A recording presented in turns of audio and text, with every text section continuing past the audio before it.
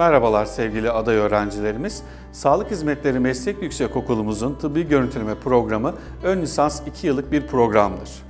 Öğrencilerimize aldıkları teorik eğitimlerin yanında uygulamalı eğitimlerle hastanelerimizde almış oldukları eğitimleri uygulama sahası bularak donanımlı bir şekilde sahaya e, sunmaktayız. Öğrencilerimizin e, almış oldukları eğitimlerde e, en değerlendirme kısmında yer aldıkları için teşhis, tanı, tedavi gibi yöntemlerde en önemli bir basamaktır.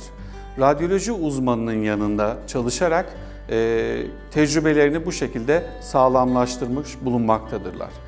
Öğrencilerimizin istihdam olarak e, özel sektör, kamu sektörü ve özel tıbbi e, görüntüleme merkezlerinde e, iş olanağı bulabilmektedirler. Ayrıca e, dikey geçiş sınavı ile öğrencilerimiz hemşirelik hizmetleri programını tercih edebilmektedirler. Aday öğrencilerimiz stajlarda e, Lokman Hekim Üniversitesi'nin e, hastanelerinde staj olanağı da bulabilmektedirler.